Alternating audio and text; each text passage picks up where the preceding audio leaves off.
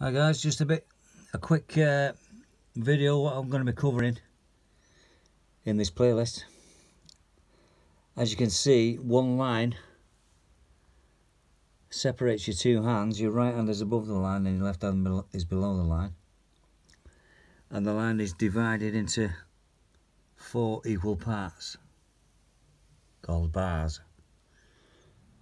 That stem there is a bar line. So you'll have your, like your first bar, your second bar, your third bar, your fourth bar. Now all the all these notes, I'm not gonna I'm not gonna do these notes yet. I'll I'll I'll cover I'll break all these down for you. Your best thing is to get your drumsticks. I'll put everything on the top line on on the right hand. But the best thing to do is get your drumstick and tap these beats out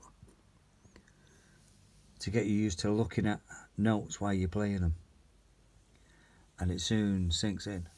Now, all, all these lines, these lines here, are all the same, all exactly the same.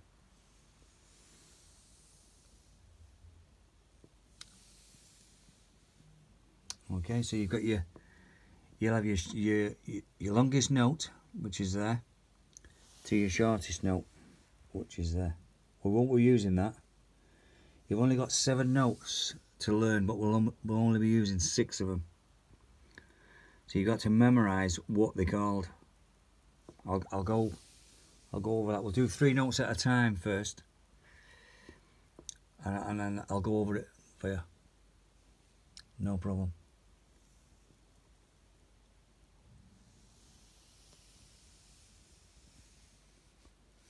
So seven notes to learn and we're only using six.